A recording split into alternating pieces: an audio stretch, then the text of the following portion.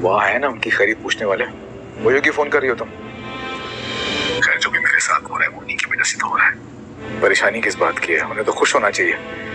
सबक तो सिखाएगी ज़ायरा जाहिद को लेकिन टांगे निगत की कांपने लग जाएगी और जाहिद ये सोचने पर मजबूर हो जाएगा कि इस लड़की का अगर जल्द अज जल्द कुछ नहीं किया तो ये लड़की हमें जल्द अज जल्द सलाहों के पीछे कर देगी।